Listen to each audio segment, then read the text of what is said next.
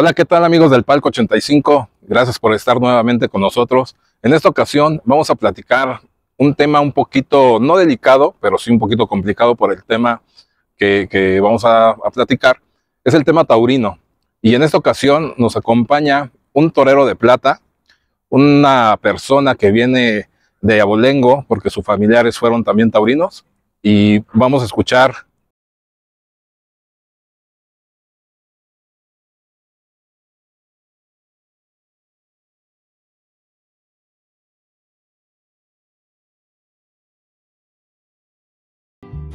Amigo, ¿cómo estás? Bien, bien, Adolfo, aquí contento de, verte, de verlos y bueno, pues de que nos den un espacio aquí en Parque 85 para hablar de todos, ¿no? Venga, Diguito, ¿quieres? yo quisiera preguntarte, ¿cómo nace tu afición a la Fiesta Brava? Uy, eh, eh, nace desde que nazco, esa es la realidad. Mi papá fue novillero, ¿Sí? Eh, en su momento fue un brazo derecho de Pepe Arroyo en dar unas novilladas. Em, mi tío Girón, también en paz descanse, fue novillero, tuvo un tiempo como, como banderillero. Eh, después se hizo, bueno, banderillero libre, después se hizo sastre de toreros y bueno, pues de ahí es de que me nace me nace la afición por mi papá, por mi tío y por todo lo que vi y llegué a ver ahí en, ahí en el taller en casa. En casa. Entonces viene de familia, tu afición, se puede decir que viene con una herencia familiar. Sí, así es, así es por mi papá, por mi, por mi tío. Estoy emitiendo también a mi primo, Gironcito, él también anduvo ahí de novillero un tiempo. Y bueno, pues este, yo por, por querer ver a mi papá, por en una situación eh, familiar, se separan mis padres, por quererlo ver, ocupo el tema de los toros como pretexto, para, acercarme. Después de que un toro le pegó una cornada muy grave en Arroyo, en el año 92 más o menos, 93. Mm, y bueno, de, después de ahí ya fue que me envenené completamente de, pues de, esta, de esta profesión y de, de esta fiesta tan bonita, ¿no? Ok, oye, ¿recuerdas tu primera escuela taurina? Sí, cómo no. Mi papá me presenta con Armando Hidalgo, Don Gato, en paz descanse. Él es uno de los románticos de, la fiesta de los toros. Em, él me enseña el, el AEIOU, después dejo de andar de novillero, toreé muy poquitas novilladas, pero mm, dejo de andar de novillero, eh, me mete en la idea de hacerme aspirante a banderillero y ahí mi otro maestro es Fernando Grajales, banderillero eh, muy importante para, la agrupación, ya se retiró, él anduvo con Sotoluco, con varios toreros, con muchísimos toreros, pero su última colocación me acuerdo que fue mm, el maestro Sotoluco. Me hago profesional y tengo la fortuna de que un amigo, Alfonso Hurtado, eh, me presenta con Mario Coelho, con el mator portugués Mario Coelho, y él es uno de los que me enseña eh, desde la A a la Z, ¿Qué es lo, qué es lo primero que te enseñan eh, en la escuela taurina? Eh, ¿Cómo ver a un toro? Eh, ¿Qué es lo que te, que te enseñan? Obviamente el respeto hacia, hacia el animal, hacia el toro, pero digo, supongo que a lo mejor también hay clases teóricas de cómo aprenderle, ponerte a, distancia del toro, todo eso. ¿Qué es lo primero que te enseñan para poder...? Lo primero que te enseñan es a, a, agarrar los trastos, los, los avíos, hacer ejercicios, ejercicios como eh, bregar para atrás. Este carril, puta, eh, lo tengo más que no lo puedo olvidar. Eh, de caminar para atrás con el capote, pegarte a la pared y, dar lances, esa es una. Y otra, hombre, caminar con el capote, distancias, balancear, echar el capote allá adelante, etcétera, etcétera. O sea, hay varias, varias, varios ejercicios que se van haciendo. Y ya cuando le agarras y le coges el ritmo a, los avíos, bueno, pues ya puedes empezar a, entrenar con alguien ahí que te empiece a vestir. O sea, es, es muy largo, pero, pero debes de empezar por, por, esa parte. Que no es nada fácil porque hace ratito tomamos el capote, hicimos dar ahí unos lances y está muy pesado. ¿Cuánto pesa más o menos un capote? Me decías que este es un capote no tan pesado, pero sí está pesado. Ese, yo le calculo unos 3, 4 kilos, pero tengo, por ejemplo, un capote que me regaló el maestro Rocarrey. Ese capote pesa mucho, ese lo saco para corridas importantes por el peso y por el viento, etcétera. Ok. Tengo otro capote que también es pesado. Y, y bueno, pues entre 3 y 4 kilos más o menos van Oye, ahorita que mencionas eh, que sacas el de Rocarrey porque es más pesado, dependiendo de la inclemencia del tiempo, es el capote que, que tú ocupas para que el viento Sí. no te lleve. O sea, porque Eh. a lo mejor todos pensamos en la plaza que todos los capotes, todos los capotes son iguales o pesan lo mismo. Pero ahorita lo que me estás diciendo, y algo que por ejemplo yo no sabía, es que son de diferente peso porque igual depende de la inclemencia del tiempo. Si hay mucho aire, a lo mejor te sirve un capote más pesado. Así es, así es. Yo, yo por, lo, por lo particular me siento muy a gusto y muy seguro con los capotes pesados. O sea, ya sea que llueva, ya sea que haya viento, ya sea lo que sea, eh, me gusta usar los capotes pesados. Más que nada, híjole, no sé, a lo mejor por, por percances que en algún momento llegué a tener de que los capotes se me, se me volaban y me llegaron a agarrar toros en, en- en Querétaro. Por, porque el viento me, me sopló.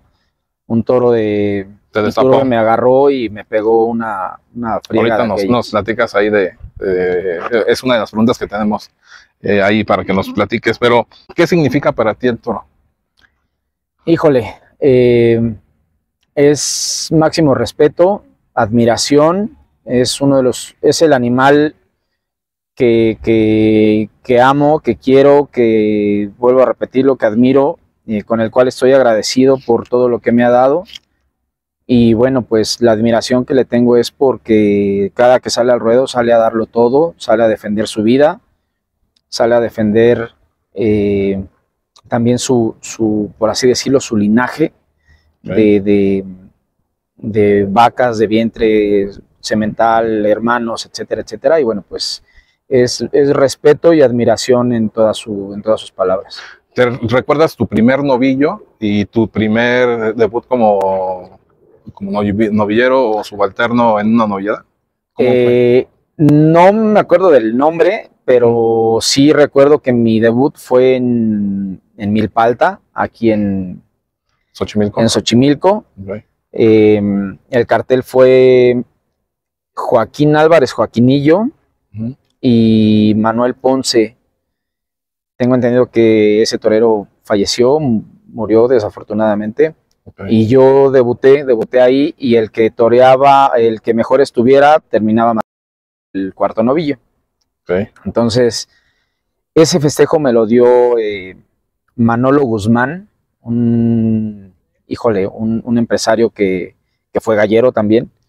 Y por él llegué a torear tres o cuatro novilladas más. Ok, entonces ese fue tu debut como Ese fue como novillero. novillero. Como novillero, no como Como novillero, ¿no? como novillero. Ok. Habré toreado otras, otros festejos, toreé en el Rancho del Charro, toreé en, eh, en un cortijo de, de por ahí de por el Ajusco de Oscar Horta, toreé en Milpalta, eh, mm, llegué a torear en Tula y bueno, pues en algunas otras plazas que se me van los nombres. Y mi debut como aspirante a banderillero, Pero fue- a- a- y antes que me platiques eso, ¿cómo decides de ya no ser novillero y, y decir, sabes qué, mejor me voy más por este lado de, de banderillero, de subalterno? tomo la decisión porque en ese tiempo era una camada impresionante de novilleros, impresionante, impresionante. De novilleros estaban punteros, el matador Garibay, eh, Juan Pablo González, Oliver Sánchez, Este, Guillermo Gallego, Rodrigo Hernández, puta, o sea, Luis David Carrera, El Arriero. Eh, no, hombre, hombre, no quiero omitir a ninguno por, por no faltar al respeto, pero éramos cerca de, sin temor a equivocarme, 120 novilleros, 100, 130 a lo mucho. Hombre, me estoy yendo, yo creo que hasta. Corto. Pero la competencia era muy... muy, muy, muy complicada, muy difícil. Entonces, yo ya no vi oportunidades. Eh, en Arroyo las cuadrillas eran muy bien recibidas. Oye, ¿a qué se debe que faltaron oportunidades? Digo, hablando un poquito y cambiando un poquito el tema, en el fútbol ahora, por ejemplo, en el fútbol profesional vemos jugadores que son hijos de un exjugador. Así es, sí. En el mundo del toro también se llega a dar esto. Sí se da, sí, muchísimo, mucho, mucho. Pero también, bueno, pues este, actualmente ya hay muy pocas novilladas. En ese tiempo sí se daban novilladas, estaba la- el Encuentro Nacional de Novilleros, eh, Telmex que daba Pepe San Martín, Pero puta, o sea, te puedo decir que en cada estado de la República había mm, 10 o 20 novilleros. O sea, sin temor a equivocarme, estaba el Huetamo, estaban los Angelinos, estaban. eh, eh, puta madre, o sea, se me van nombres, Sí, muchos nombres. En Querétaro también había novilleros, Ramón Olvera, eh, Paco Parra, mm, Abraham Ruiz. Si me voy a Zacatecas, Aguascalientes, igual. Entonces estaba el matador César Castañeda como novillero. Sí. En Tijuana. Eh, eh, el Canario, puta, hombre, te puedo, eh, sí, sí, te sí. puedo La- decir la muchos. competencia era- mucho- era- Dificilísima y entonces decides, ¿sabes qué? Mejor se cierra. la fiesta porque es mi pasión, es. es. lo que me encanta, pero mejor me vengo de este Mi lado. de- papá fue el que tuvo todo el eh, la visión, esa es la realidad, esa es la palabra. Está muy bien, Torero. Nos vemos, Master. Sí, por aquí. Gracias. Gente, suerte. Y este El maestro Rafaelillo. ya nos vino a dar unas clases Unas aquí bastante buenas. la cadera toda recargada a donde está citando. En cuanto te la tome, hay que ver el pitón de adentro, no el de afuera, el de adentro, para darle profundidad a tu muletazo. Ahí. Y la cadera descansa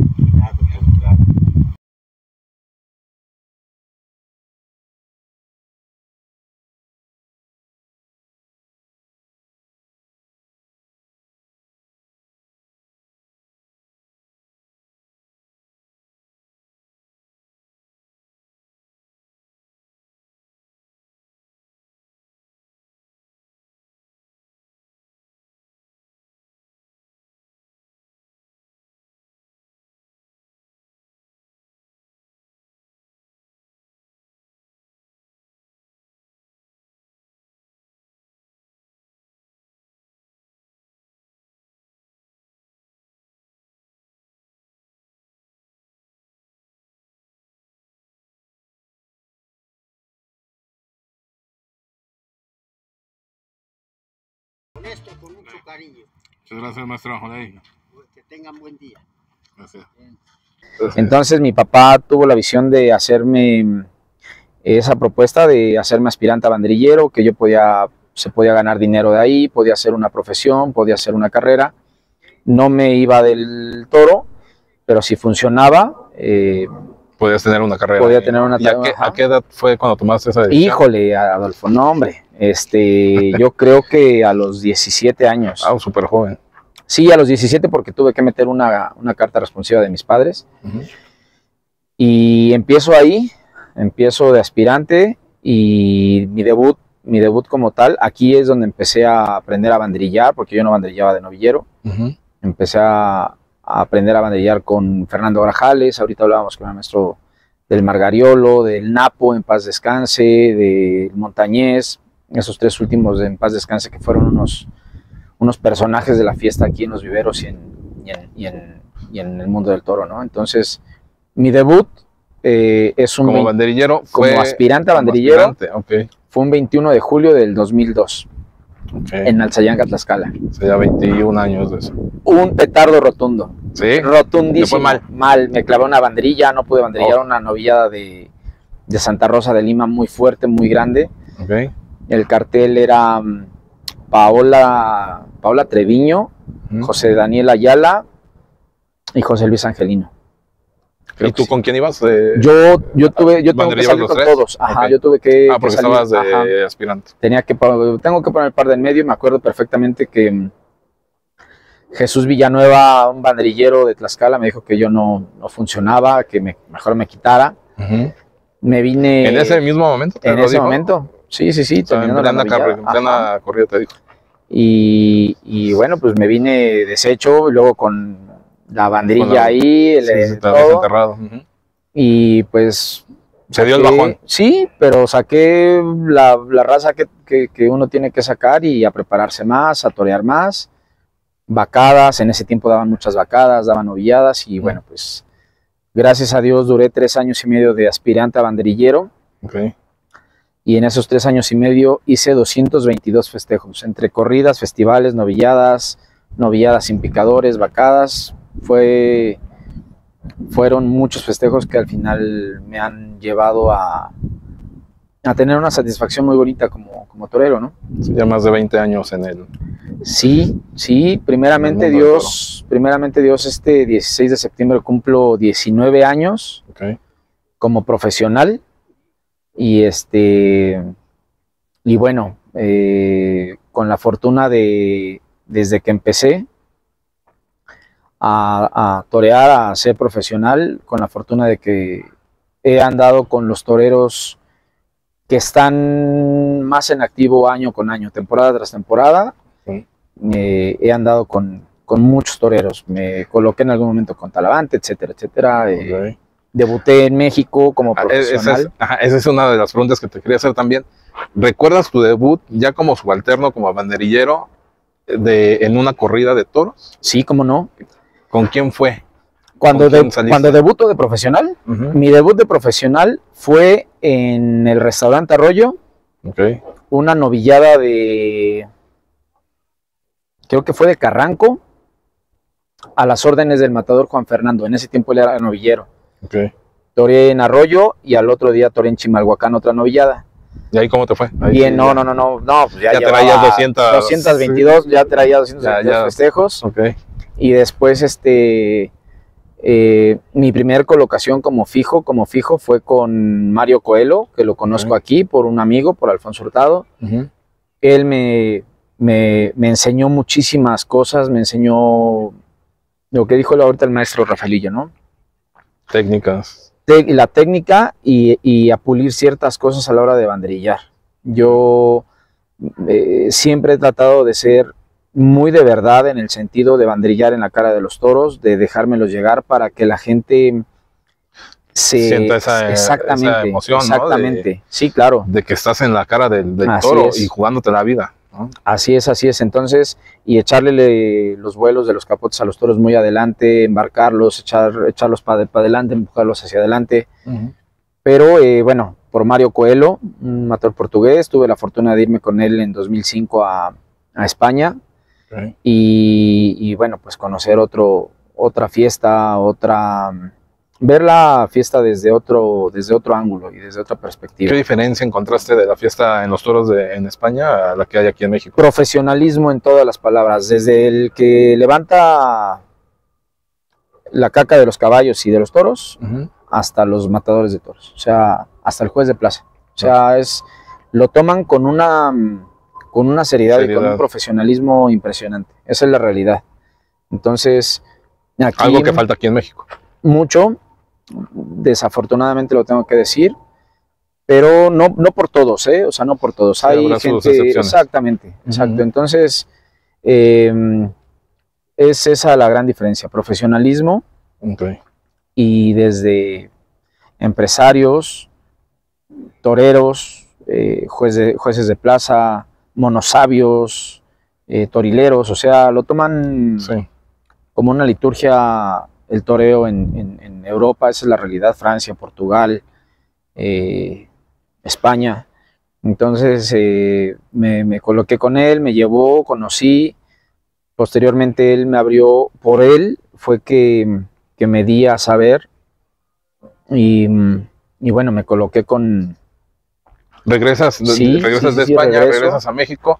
¿Recuerdas eh, cuál fue tu debut en la Plaza de Toros México ya en una corrida de toros con algún torero no no no novillada? no me ¿Tu acuerdo? Mm, Debuté en una corrida de toros, no me acuerdo del cartel, pero debuté a las órdenes de Julián López el Juli. Nada más. En ese tiempo estaban colocados Cristian Sánchez y Gustavo Campos. Ok. Cristian Sánchez y Gustavo Campos, para los que no saben, también eh, toreros de plata, subalternos. Importantes toreros Importantes. de plata que, que han tenido la agrupación. Y me coloco por Delfino Campos, que era picador de toros del Juli. Entonces, eh, a don Delfino, al, le digo mi padrino, a él lo, mm, le piden colocar a las cuadrillas y Ujú. dijo, bueno, pues el maestro Julián viene de una temporada impresionante en España, con una cuadrilla bastante buena. En ese tiempo creo que era mm, José Antonio Carretero, su banderillero de confianza. Y, y bueno, pues me acuerdo perfectamente que, que éramos una cuadrilla, bueno, ya Cristian y Gustavo con, uno, con un nombre impresionante en esto. Y bueno, pues yo empezándome a abrir camino en Plaza México, que esa temporada eh, terminé toreando con José Mari Manzanares, con el maestro César Rincón. Eh, híjole, no recuerdo algunos otros, no recuerdo toreros mexicanos. Ismael Rodríguez me llevó como general. Y, y bueno, no recuerdo algunos otros, pero una- que igual con Rocarrey también ya has alternado, Sí, ya sí. últimamente. eh, me dediqué muchísimo a torear con, con toreros mexicanos. Eh, una de las temporadas impresionantes de Humberto Flores, del matador Humberto Flores. Luego tuve la fortuna de, de- de colocarme también con Mario Zulaika. Eh. En algún momento él, empresario ahora. empresario ahora de la Plaza México. Ujú. Eh, él fue uno de los que, uno, bueno, él fue el primero que me dio mi, mi primer sobresueldo, o sea, ¿Ah, que sí? me pagara más de lo que está estipulado. Ahorita que toques este tema y regresamos, ¿se cobra bien? ¿Como subalterno? ¿Se gana Eh, no, eh, somos el país este, que menos cobra. Hubo muchos retrasos, hubo muchos... em, Pero te eh, retrasan el, el- te retrasan el pago, te lo jinetean, No, no, no, el- pago es, es menor a lo que pueden ganar Al en final, España, en Perú. ¿sí? hubo retrasos en, en- en años que no aumentaban nuestros Ah, ok. sueldos. Ok.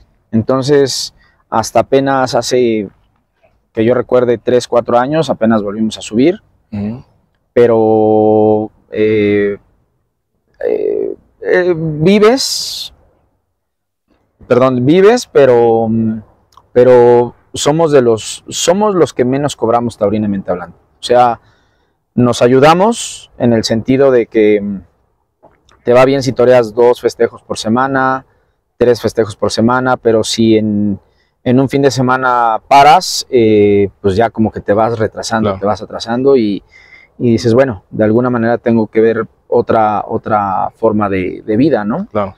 Nos dio en la torre la pandemia, este, ha habido otras circunstancias, pero yo en lo particular eh, he tenido la fortuna, te vuelvo a repetir, les vuelvo a repetir, que he toreado temporada tras temporada con los toreros importantes, me coloqué con Payo, me coloqué con Saldívar, con Sergio Flores, con Fermín Rivera, Humberto Flores, eh, hay, híjole, Sí, de la baraja taurina mexicana, Así de los es, más importantes es. en, en este tiempo. Eh, en, hubo una temporada que me coloqué, la primera temporada que vino Alejandro Talavante, me coloqué con él, No más. nada más. No más. Eh, luego me coloqué, me hablaron. En, ese, en ese tiempo yo estaba eh, mal, no estaba anímicamente bien. Y recibo una llamada de un compañero del Miura y me dice, oye, ¿te quieres Picador de colocar? toros. Picador de toros, eh, muy buen picador de toros. Soy muy bueno. eh, ¿te quieres colocar con un torero eh, extranjero? Y yo, pues sí, no tengo nada, no- ya, no, ya no ando con ningún torero mexicano. Y se me da la fortuna de colocarme con Andrés Rocarrey en una de sus temporadas más impresionantes. Cuando te dice, pues vamos con, con Andrés Rocarrey, ¿qué dijiste? No. ¿Es broma o qué? No, eh, dije, bueno, pues sí, eh, ya había yo toreado algunas corridas de complemento de cuadrilla con él en manos a manos. Pero ya verme colocado con una figura de esa talla, eh, de, de estar ahí, de, de- de platicar y, y estar en, en el ruedo con él. Y eh, me acuerdo perfectamente en Juriquilla que me dijo, tú vas a lidiar ese toro, o sea, de aquí a ahí, ¿eh? Y, Sí, en corto. y- y- ajá, y no supe qué contestarle, me dice, bueno, despacito y con muy buena letra. Entonces... Exigente, Eh, ¿no? sí, pero con muchísima categoría Sí, y con muchísima clase y educación. Perdón que haga una comparativa para los amigos del Palco 85 que a lo mejor no son muy, este, muy, muy asiduos a la, a la fiesta de los toros. Andrés Rocarrey, y discúlpenme la comparación, pero lo tengo que hacer así para que me entiendan un poquito hablando de fútbol.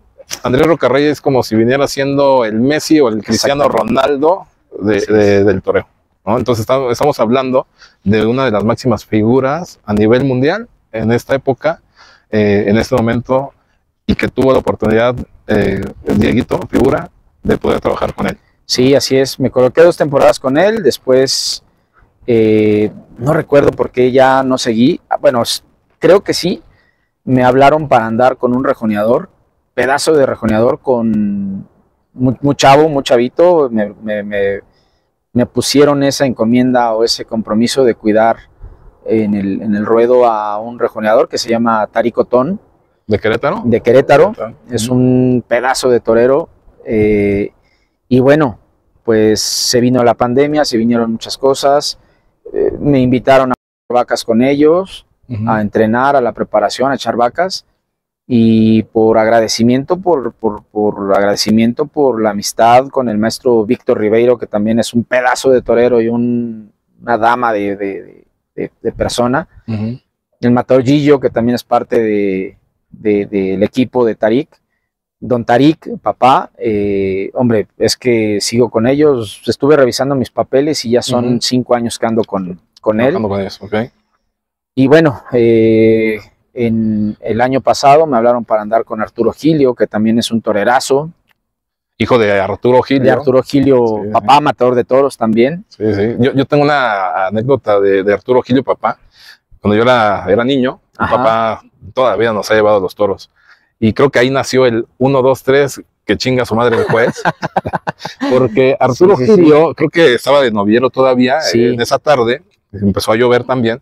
Y, y él estaba entregado al, al animal, estaba haciendo un faenón. Toda la gente ya pedíamos el indulto y el juez no lo daba. No lo daba, no Ajá, lo daba. ajá. Entonces, porque es, es muy importante que la gente sepa que el torero no sale a la plaza de toros a querer matar al animal.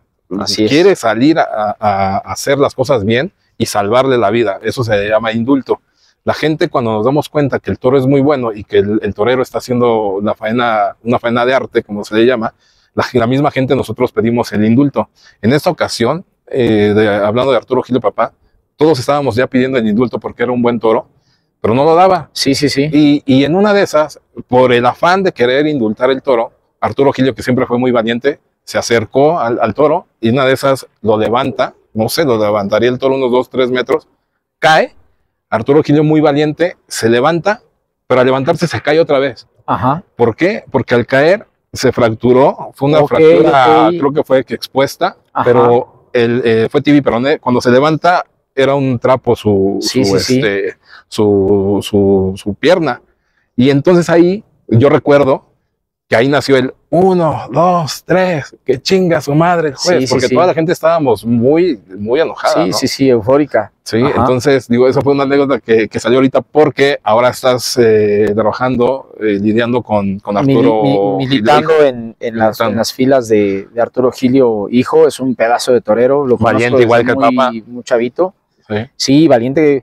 El papá era más, este, mm, eh, más explosivo y, y, hombre, como que más, eh, híjole, no se arrimaba sé. más, Sí, hombre, eh, efusivo. y Arturo hijo es Más serio y Sí, un sí. torero un torero más más expresivo en el sentido de que torea torea para él gustarse pa- para él pero bueno pues los dos aparte de que son grandes personas son son grandes toreros eso Sí, tengo la y muy valientes. Eh, Arturo es. Gilio, eh, hijo, también hace poco, que un año allá en, en España, en un festejo en España, también tuvo una cornada, Ujú. donde le entra el cuerno por la pantorrilla y le Madre. sale del otro lado. Por ahí hay una imagen. Vamos a ver si la podemos poner para que sepan. Pero sí, toreros. Es que los toreros están hechos de, de otro material, no sé. O sea, están, los cornean hoy, el siguiente domingo ya quieren estar toreando de nuevo, ¿no? Sí, eh, yo desafortunadamente o afortunadamente eh, este año fue ha sido complicado, ha sido difícil, profesionalmente lo digo. Eh, posteriormente, bueno, anímicamente también me pegó muy fuerte una situación Sí. y, y el 30 de abril, eh, bandrillando un toro de Fernando de la Mora, precisamente de Arturo Gilio Hijo, me pega un toro, una cornada en, en el Aguas- Triángulo de Escarpa, en Aguascalientes. En Aguascalientes, sí.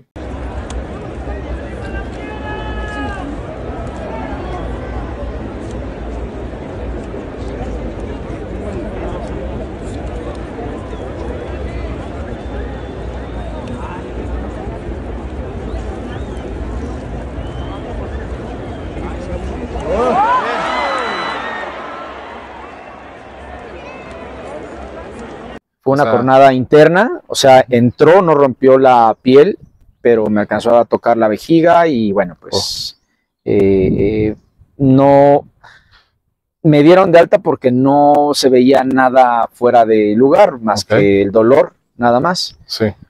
Y de ahí eh, me voy el día 5 de mayo a Morelia también, con una corrida de Torreón de Cañas, con Ujú. Arturo Gilio, Ujú. Y me vuelve a agarrar un toro ahí, o sea, fueron cinco días que... Sí, el que 30 de abril tuviste de- de- y luego el 5, y el 5 en Morelia en- en tuviste Morelia. otro. Tuve otro, entonces este, me pegan...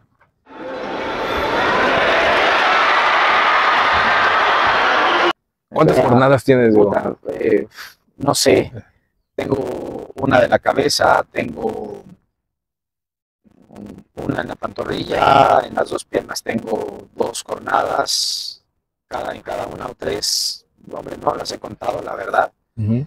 y una que me dolió muchísimo, que fue en el recto, eh, lo que es el recto, que lo partió un toro de, Oh. de Álvaro Espinosa en, en Jalapa Ok. sin saber, sin saber que tenía la jornada, porque también fue cerrada, pero bueno, pues ya hasta el otro día que me, Te enfriaste y... que me metí a bañar, bueno, pues me vi la espalda morada, las piernas moradas, las, las, las manchas, las pompas eh, verdes, Ah, cabrón. Y, bueno, pues voy, le hablo al doctor Uribe y le digo, oiga, doc, pasó esto y esto, ah, bueno, nos vemos al rato en la, en la unión, en la agrupación, ahí te checo. Se me hizo fácil pasar a, a comer todavía algo. Me eché mis tres tacos de carnitas, Ajá. muy buenos. Y este, y pues ya me checó y, y como si fuera yo a parir, me, me metió la mano en, en el recto, en- no, en, no en el ano, en el recto, en, en el recto, en el recto, y Sí, bueno, se le fue la mano hasta acá y Oh. tenía el recto partido. Yo tengo una prótesis de silicón, Ah, cabrón. entonces pues sí, este, tengo que andar con, con muchos cuidados, cuidados. Y, y bueno, pues nunca pensando en que me vayan a agarrar los toros, ¿no? Pero estas dos cornadas, la de Aguascalientes y la de Morelia, Sí, que fueron muy pegadas, aparte. me dolieron muchísimo, me hicieron ver la vida de otra manera, de otra perspectiva. ¿Pensaste en algún momento ya retirarte después de las dos? No, no, no, no, no, este, eh, no, he andado con problemas eh, de salud, traigo una trombosis en la pierna izquierda, eh, que al final este, es por esta y, y baja a, a- a la rodilla. Traigo por la... por, por la por cornada, traigo una faja que también fue por una, un toro que me agarró en Monterrey, me traigo la columna lastimada. Pero apenas lo platiqué con mi hija y me dice, oye, ¿no crees que sea ya tiempo de, de retirarte? Honestamente, creo que no. Eh, quiero seguir en esta profesión hasta que Dios y el toro me respeten, lo quieran, me lo digan, pero me quiero ir con muchísima dignidad, o sea, me quiero ir todavía, mm, creo que tengo un poquito más, creo que tengo algo por dar, para dar, Ujú. Y también tengo que regresarle algo a la fiesta de los toros. O sea, no sé cómo ni de qué manera, pero, pero me ha dado mucho y quiero, quiero regresarlo. Ya, ya he pagado con sangre, pero bueno, pues no hay otra. No, hombre, no, no, no tengo yo ninguna bronca en, en seguirlo pagando porque al final es mi vida y, y es en lo que me he dedicado Y es que siempre. es algo que a mí, por, a mí por lo menos me enoja. La gente que no es taurina, que es antitaurina, pero que aparte hay dos tipos de gente antitaurina. La gente antitaurina que conoce y la que no conoce. ¿no? Y normalmente eh, la gente antitaurina piensa que el torero tiene ventaja siempre sobre toro. Ujú. Y no es así. ¿Qué opinas o qué le dirías a esa gente? Nos acabas de platicar las jornadas, lo, lo que tienes, eh, pero a- a- acá sigues, ¿no? Por el mismo respeto a, Sí, al al, toro. Pero a esta gente que opina esa parte, ¿qué, qué le dirías? Mira, eh, ya lo dijiste, hay gente antitaurina que conoce y hay gente que, que no sabe del tema de, de- de la fiesta de los toros. Lo único que les puedo decir es que, que se acerquen, que se cultiven, que lean, que investiguen y, y de verdad que, que si tienen el valor y la humildad y, y- y yo qué sé, la humildad de aprender o de saber de algún tema, estoy en la mejor disposición y como el maestro Rafaelillo, hay muchísima, muchísimos taurinos que, que, que estamos dispuestos a, a enseñar y a, a, a, explicar el porqué explicar de el las porqué, cosas, ¿no? Al, al animal. Digo, un ejemplo rápido es que eh, cuando sale el animal, sale a lo mejor sí con cierto estrés y, y, y cuando llega el- el- el- al caballo, a, a la pica del caballo, es porque eso le ayuda a descongestionarse Sí. para que no le dé un paro cardíaco al, toro. es. ¿no? Eh, Por eso se, se- se le pica al animal y no es porque, pues por diversión, ya lo decía bien Octavio, eh, Octavio García el Payo, torero cretano, si nosotros los taurinos fuéramos asesinos, pediríamos tribunas en los, en los, estos, en los rastros, ¿no? Así es, Y- así es. Y la verdad es que no es así. Entonces, Sí. yo pediría un poquito más de respeto a la gente antitaurina que, que no sabe realmente eh, cómo la gente se está arriesgando su vida, ¿no? Es, es, mira, ya lo acabas de decir, eh, los animales, todos los animales hacen las cosas por instinto. Sí. Los perros te muerden por instinto, los leones, los leopardos, los tigres te atacan por instinto porque su instinto es de, su- de supervivencia Supervivencia. y de atacar para alimentarse. Claro. Eh, puta, cocodrilos, eh, me voy con una infinidad de animales. Sí. El toro de Lidia solamente está criado para, para eso. No puedes eh, enseñarle absolutamente nada, no puedes domesticarlo, no puedes absolutamente acercarte de aquí a ahí para, Para acariciarlo. para acariciarlo. Podrá haber sus excepciones, Claro, pero esas excepciones son contadas con, con los dedos sí, sí. por la nobleza, por mil cosas, por mil cosas que, que si, que si las digo no termino, ¿no? Pero al final, si tú te vas a una de esas, si tú te vas a una ganadería, el toro, las vacas, los becerros viven eh, a sus anchas. Este, este Claro. claro. es chiquitito sí. a como vive el toro de Lidia. De hecho, tenemos ya por ahí un video eh, eh, que nos hizo favor el ganadero Julián Hamdam de visitar su ganadería. Por aquí lo pueden buscar en el canal. Ahí van a entender un poquito más de cómo vive el toro de Lidia antes de llegar a la plaza de toros. ¿no? Así es, así es. Y sí, la verdad es que son, en primera son toros atletas, porque Sí, son señor, toros musculosos, ¿no? No son toros de engorda ni reses de engorda como las que consumimos, como explicamos en el otro video, pero aparte viven muy bien. Entonces les invito a que vayan a ver ese video para que entiendan un poquito esa parte. Así es. Entonces, bueno, pues eh, el toro, el toro solo se cría para eso, solo vive para eso. su instinto a- cuando sale a la plaza es para, para defenderse, para, para atacar. Y, y bueno, ya lo, ya lo mencionaste, se pica a los toros para que se, se descongestionen como cuando uno tiene algún problema o algo, eh, el hecho de llorar, el hecho de, de desahogarte, esa es la palabra, te genera cierto Alivio. alivio y eso los toros lo hacen por, por el puyazo, por la sangre. Las banderillas, bueno, pues se le llama de diferentes formas, garapullos, banderillas, palos, palitroques.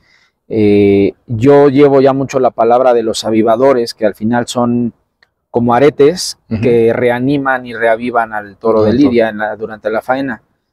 Y bueno, pues de ahí ya se viene la faena de muleta, este, y al final, pues ya el toro, después de ahí, si, si, si fue una lidia de 10-10, eh, puede tener la oportunidad de, De salvar ser- su vida y así indultado. es, de ser indultado y bueno, pues de vivir una vida de sultán en su harem. Así es. Entonces, este, Sí, porque lo indultan, lo curan en la plaza, lo regresan a la ganadería y lo ponen con las vacas a hacer cemental. Así es, así es, hacer más becerritos, más becerritas. Y bueno, es una tarea que admiro de los ganaderos porque tienen que llevar muchísimas cosas. Las líneas, las riatas, eh, lo que se le llama ah, en los perros el pedigrí, ¿no? Exacto. Entonces, mantener un toro es muy caro, es, es una vida eh, cada cuatro años.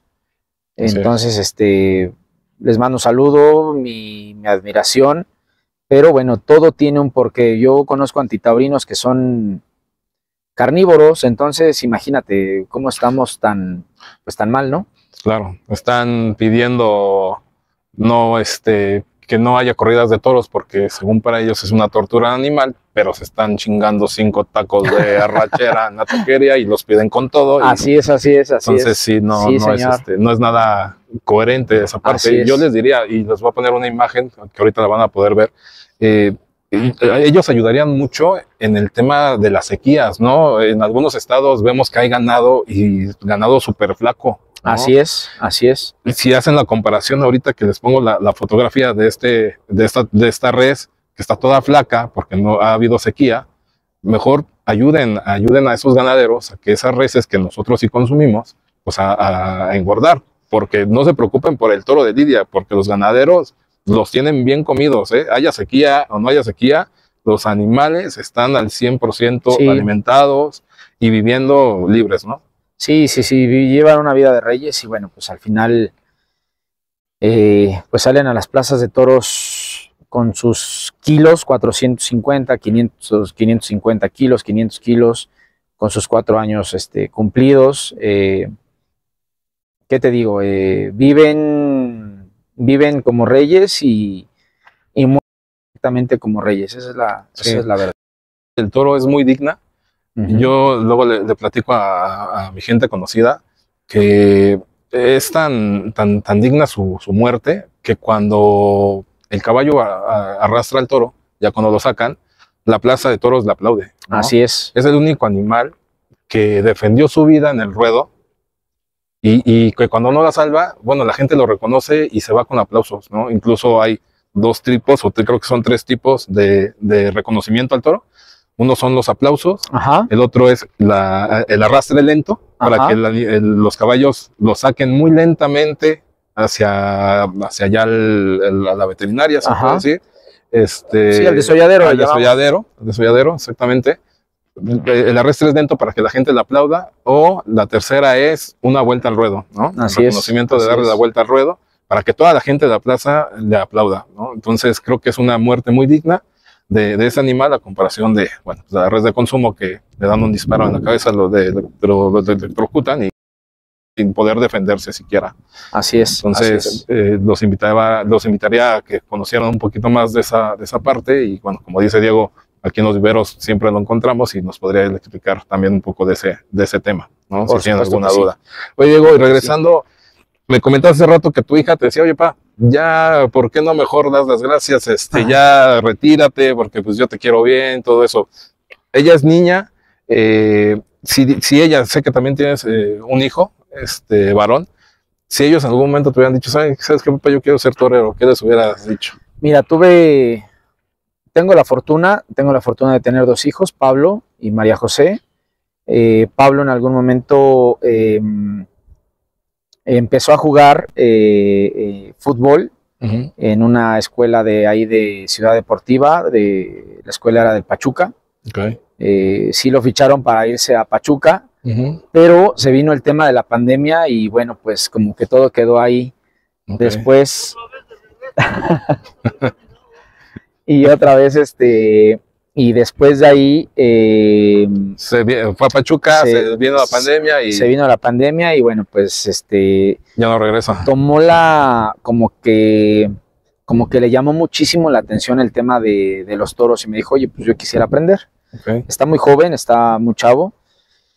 Yo en ese tiempo empecé a ir al campo a varios lados, me salí, hombre, el, el andar de torero dejas, dejas a tu familia, dejas todo, absolutamente todo por andar Tienes con que tu ir al familia campo. de cuadrilla, ¿no? Ujú. De taurina. Tienes que ir al campo, tienes que viajar, ir y venir, etcétera, etcétera. Entonces él toma la decisión, la determinación de, de enlistarse en la milicia. Ok. Entonces, este, Pero te, dijo en algún momento, quiero ser torero. o- sí, quiero ¿lo- ser torero, ¿Y apóyame, ¿Lo ayúdame. apoyaste? Sí, le dije que sí, que cuando yo regresara de, esta, de, esa, de, de esas giras, pues ya Ajá. empezaba yo a, a A involucrar. entrenarlo y todo eso. Ok. Eh, se le metió el tema de la milicia, se le fue la onda del tema del toro y bueno, pues ahora tengo, ahora vivo yo con miedo y bueno, vivo con el miedo de, de que este hombre ya está en, en la milicia, está en un batallón bastante bueno, fuerte. Primeramente Dios, espero que regrese con, con bien, con salud. Y mi hija, eh, ella no me ha dicho que quiere ser torera, ¿no? Bendito Dios y gracias a Dios. Pero, Si te dijera. híjole, Adolfo, no, no, no, hermano, eh, lo veo muy complicado, cabrón. O sea, como, como persona Muy, muy cercana a ti, ¿no? Exactamente, lo veo muy complicado y aparte es el amor de mis amores y, y- y, no hombre, quieres que nada le pase. ¿no? Exactamente. A los hijos. Pero si, pero si quisiera aprender a torear, no tengo yo ningún problema. O sea, yo le enseño, se baja a torear a sano y listo. Y lo que sí, que de un tiempo para acá se empezó a involucrar muchísimo conmigo, con mi carrera, con, con, con, con mi profesión. Y, y le encanta. Ahí tengo unas fechas por delante, primeramente Dios. Ella ya sabe que, que va a ser esa fecha del 17 de septiembre, va a ser un parteaguas personalmente. Va a ser un parteaguas personal y profesionalmente. Entonces ella me dijo, yo quiero estar ahí. Yo me lo dijo con 14 años, me dice, papá, yo quiero estar en esa corrida. Pase lo que pase, sea bueno o sea malo, yo quiero estar ahí. Yo quiero verte, yo quiero apoyarte, motivarte y, y, bueno, pues que me veas allá arriba y que des lo mejor de ti. Son cosas que, que nunca te esperas de, de- de- de- de la gente que te quiere o de la Claro. gente que tú amas, ¿no? Entonces, si en algún momento mis hijos me hicieran abuelo y mis nietos me dijeran, este, que primeramente Dios me dé fortuna de verlo, De poderlos ver, ajá. Este, no lo sé, cabrón. O sea, me estás tocando temas complicados porque he llorado sangre, sudor y lágrimas. De verdad, me ha costado Sí. mucho trabajo. Y, y yo creo que también tu familia, ¿no? Cuando te ve igual así de esa manera, Así es. también sufre, ¿no? Sí, sí, estas dos jornadas eh, la pasé. Yo tomé la decisión de, de sanarme, de sanarme solo. Mari me lo dijo, mi hija me lo dijo. Te, te curaste las heridas como los gatos, lamiéndote, las heridas. Entonces, créeme que ahora estoy con otra mentalidad. eh, lo que no te mata te hace más fuerte Claro. y, y, híjole, eh, estoy con una mentalidad y con una motivación y, y con un hambre de, de querer ya torear. Eh, mi próximo festejo es el 8 de septiembre, Ya la siguiente semana. la siguiente semana, y pues de ahí este, es una corrida muy seria, que estoy ahí metido en, en la empresa. Muy bien. Es una corrida muy seria, pero que Por, están ah, ¿por qué invitados. aprovechamos y nos invitas? Perfecto, sí. 485. Eh, es en Santa María Nativitas, ya tengo el 8 de septiembre. El cartel es, son los matadores Francisco Martínez, este, Gerardo, perdón, perdón, por antigüedad, Gerardo Rivera, Francisco Martínez y el novillero Luigi Mercuris, Con una corrida muy seria de los Cues. Entonces ahí los esperamos el 4, el 8 de septiembre a las 4 de la tarde, que están invitados y Gracias. ya tenemos un compromiso. Ahí en Hidalgo, ¿no? En Hidalgo, en Hidalgo. Entonces, se vienen festejos el 15, el 16, el 17, luego el 24, el 29, 30 día primero.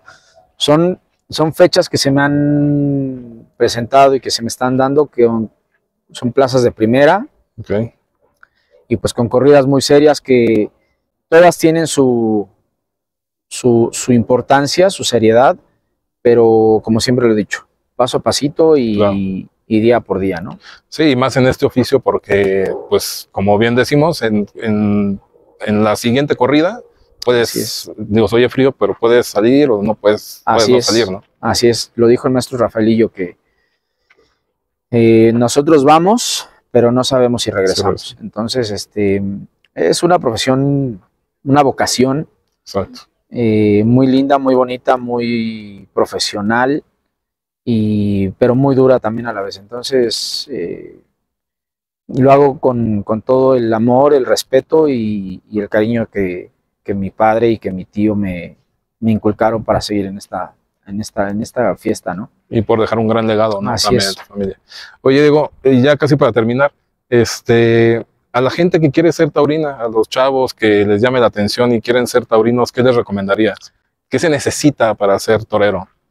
Mira, eh, hombre, para, para ser toreros necesitas afición, ambición, eh, valor y ya lo dijo el maestro, también tener esa vocación de, de sobresalir, de, de querer ser algo en la vida como, como lo que tú quieras y hablando de, de buscar, buscar ser figura del toreo. O sea, si tú nada más lo piensas por ser torero y por dejarte ver y por cositas así, pues créeme que vas a ser uno más, uno menos pero cuando tienes esa, ese amor por la fiesta y por el toro y el respeto y la admiración, etcétera, etcétera, las cosas se te, se te abren, la vida se te abre de otra manera y ves las oportunidades de otra forma. Entonces, para ser torero es eso, y para la gente que no sabe de los toros, el que vengan aquí a los viveros o a Chapultepec o, o muchas veces vamos a Locotal a caminar, a correr, eh, mis redes sociales me buscan como Diego Figura, a todo mundo le escribo, a todo mundo le contesto. contestas. Entonces, este, si me dicen, oye, yo quiero aprender, puta, tengo un abanico de oportunidades donde puedan, ap- a- donde puedan aprender y puedan conocer ganaderías, toreros, amigos, eh, aficionados, etcétera, que, que tengo la confianza y tengo la certeza de que en el momento en el que yo los ponga con ellos y yo no estoy, aprendan, aprendan de la fiesta de los toros, pero aprendan desde las entrañas, no Claro. desde, desde afuera, que nada más es que tomar una cervecita, que irme con mi noviecita, que irme aquí, que no, no, no, no, o sea, es aprender del por qué es la fiesta de los toros. Y de verdad, en el momento en el que, de que escuchas un poquito, eh, puta, te enamoras toda la vida de, Sí. esta, de, esta, de esta fiesta. Esa es la realidad. Sí. Es lo que yo veo. Sí, es lo que yo les comento a mis familiares, amigos que no, que no han ido y que me dicen, bueno, ¿tú qué le ves, no?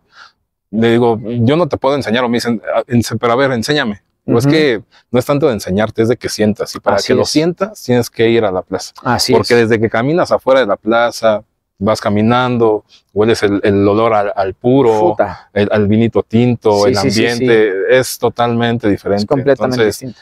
yo los invito a que si no han ido a alguna corrida de toros, de verdad vayan. Ahorita tenemos el problema en la Plaza de Toros México que están suspendidas las, las corridas. Esperemos que ya muy pronto eh, Así es. la- la- lo- se pueda abrir.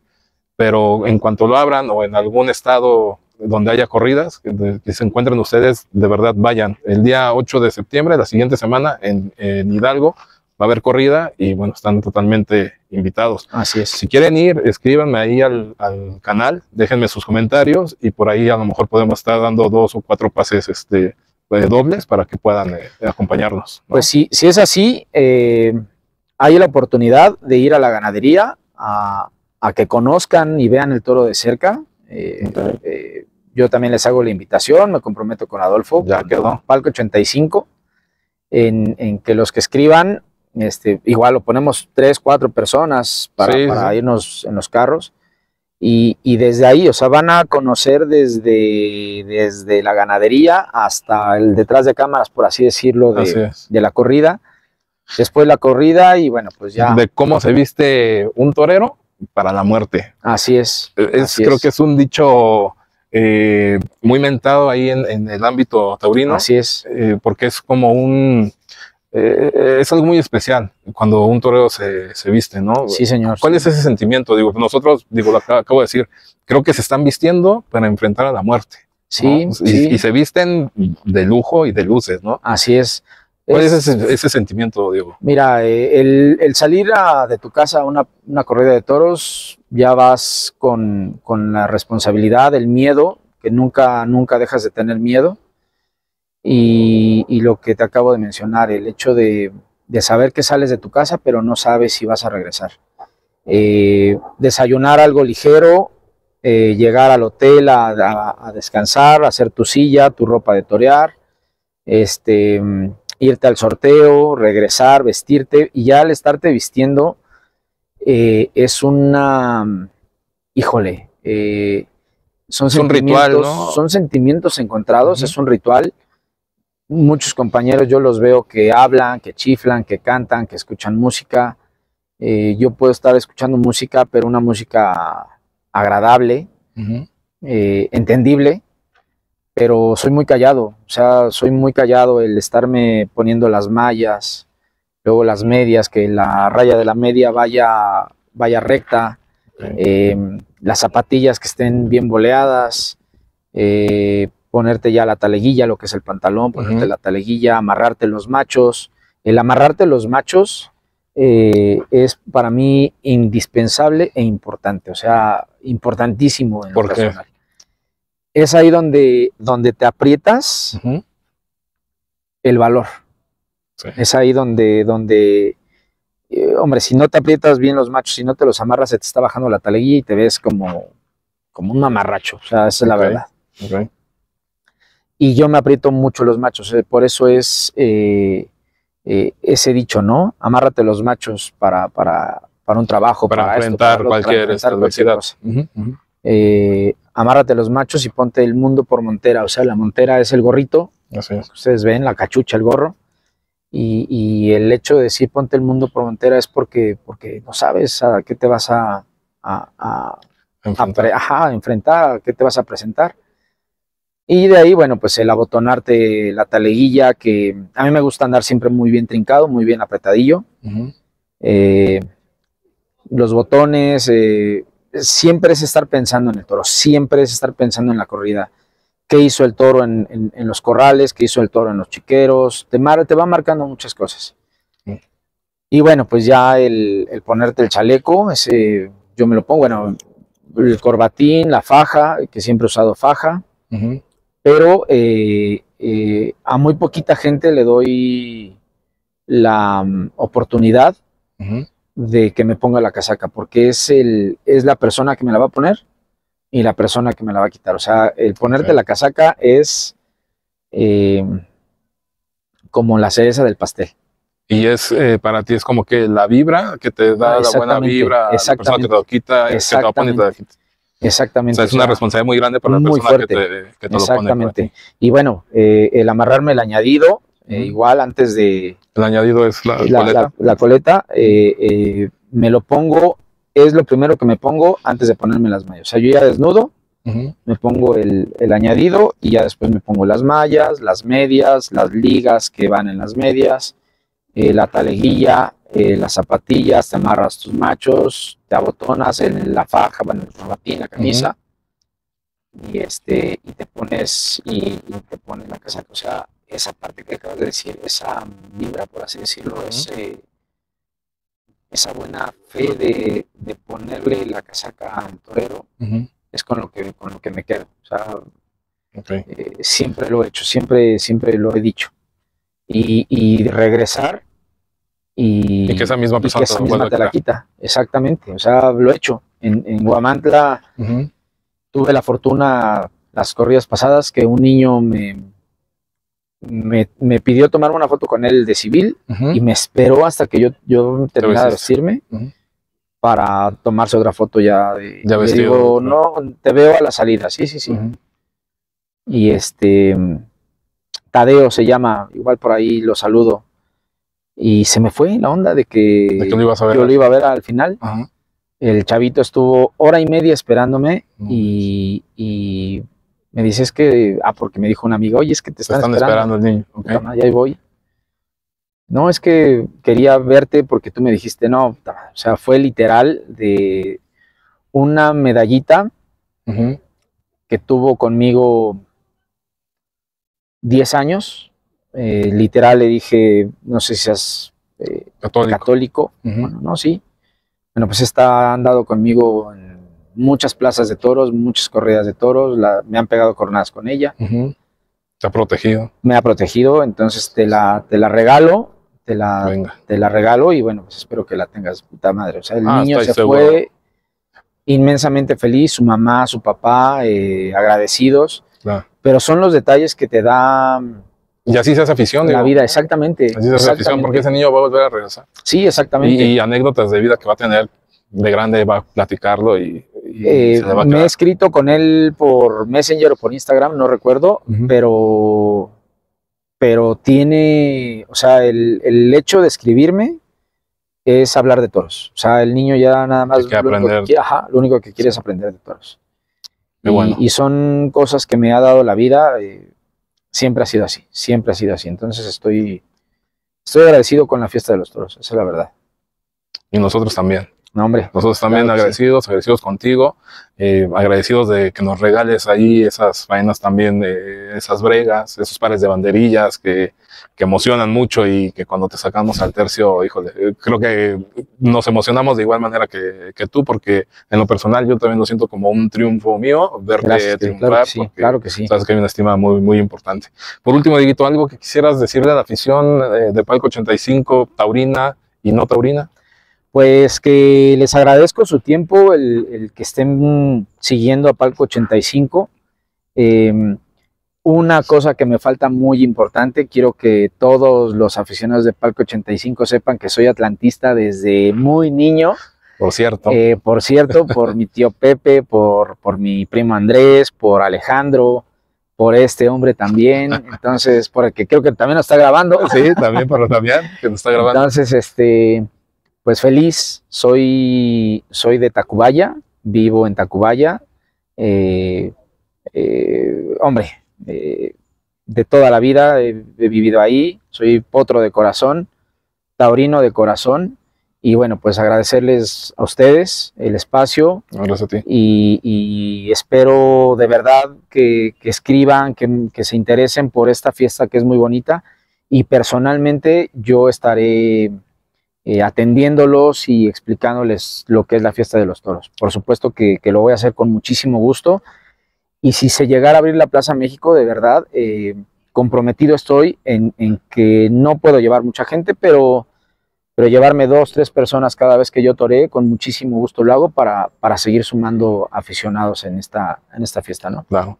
Y, y nuevamente, que nos acompañen el día 8 ¿no? de septiembre. El 8 de septiembre, sí, el 8 de septiembre vamos a estar en, ahí en Santa María Nativitas de Atengo, el 15 en Juriquilla, el 16 en Morelia, el 17 en Cinco Villas, aquí en Texcoco, una plaza muy bonita, es una corrida muy seria. Y bueno, pues de ahí se viene el 24, el 29, el 30 y el día primero, pero ya poco a poquito iré poniendo las fechas ahí en, en mi perfil y bueno, pues a seguirme en, todos lados, en Sí. todos lados, en Facebook, Instagram y Twitter, eh, estoy como Diego Figura, así me encuentran y con yo soy el que los agrega, yo soy el que les escribe. Perfecto. Escríbanle y bueno, Dieguito, pues agradecemos mucho tu tiempo y ojalá pues, nos sigamos este, viendo, nos podamos ver Claro que sí. eh, en las plazas y pues toda la suerte del mundo, amigo. Carnal, muchísimas gracias, No, güey. gracias a ti. Gracias, gracias por el espacio. Y arriba Atlante. Arriba el Y la Atlante. fiesta brava. También, señor. Venga.